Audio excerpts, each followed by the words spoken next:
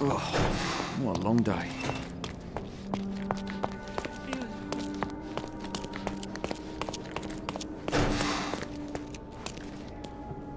Excuse me, but are you Mr. Capello?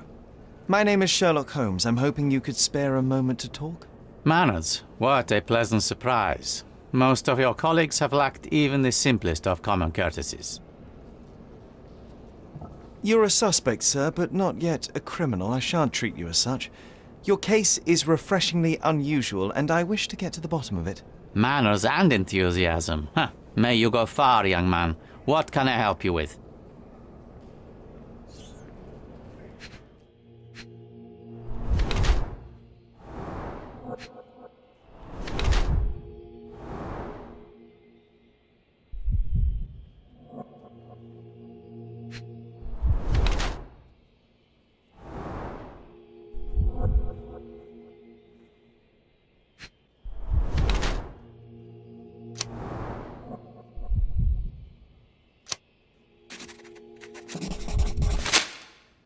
You are surprisingly composed for a man accused of murder.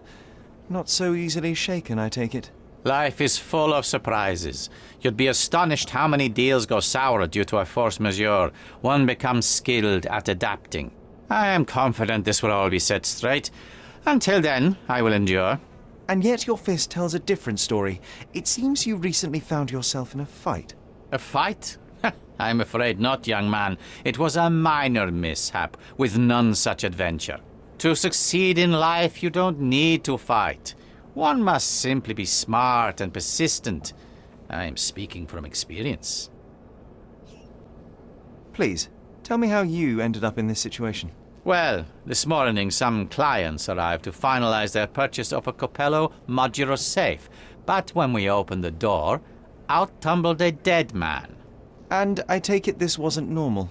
No, I normally keep my corpses in the wardrobe. Please, young man, spare me your wit. The rest of the day was a blur. I recognized the victim, and it seems so did the police. That was enough to make me the main suspect. Who sent for the authorities? No one. As it happens, we had a break in last night. Nothing was stolen, but for insurance purposes, the report had to be made. So, police officers just happened to be on the premises when we discovered the body in the safe.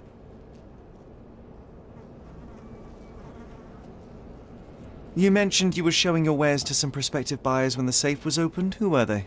Clerks from the bank. Uh, they inspected the safe from top to bottom yesterday. I assumed the sale was just a formality at that point. And the safe was closed? It's usually open, but it locks automatically when the door swings closed. That's another marvelous Capello invention. A coffin that locks itself. Marvelous indeed. Help me grasp your movements yesterday. What time did you meet the customers from the bank, and did you have any other appointments? Yesterday, uh, the bank clerks arrived at 10 a.m. Uh, afterwards, I was alone in the office until my wife Augusta came in at 3 p.m. I left for home at 6:30 p.m. And what about this morning? Our meeting for the demonstration was set for 9 a.m. I arrived about half an hour prior in order to prepare. I have one final inquiry. Do you recall the time at which the safe door was closed? Young man, I may just as well ask you when you closed your cigar case. I have opened our safes a dozen times a day for a dozen years. I do not recall. You say you became the suspect when the police identified the victim. Is there history between you? Surely you jest. That man and I have never met and never would, unless he became the first deity in history to use our products. Some sort of family feud? I'm afraid I'm not familiar. Ah, you must be new to Cordona. It's an old tale. Back in Italy, generations ago, the Dettis tried to ruin our family business. They nearly succeeded. The Capellos rightfully struck back, but there has been bad blood ever since.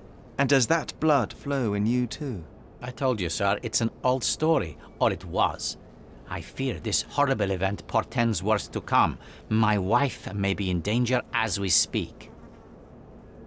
I'd like to inquire about the burglary. I'm not sure I see the connection, but if you wish to know more, talk to Billy Lloyd, the night watchman. He scared off the thief. Was it also Billy that discovered the burglar? No, my wife did. She had stayed late yesterday. Poor Augusta. At least she's safer with the police than at home alone. Well, Mr. Capello, I think that's all I need from you at present. Where can I find your office?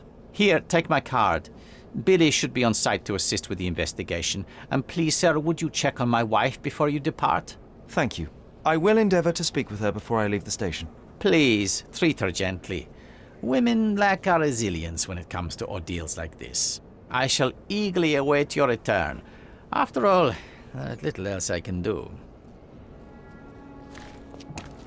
Come on, Sherry. Say, I am the law.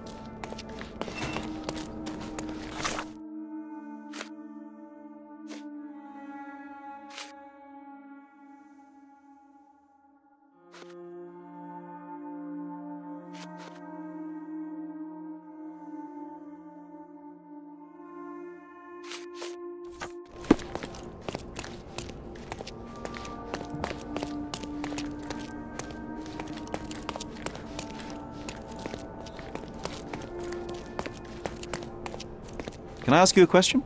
Oh, I don't know about that. Ask one of the others.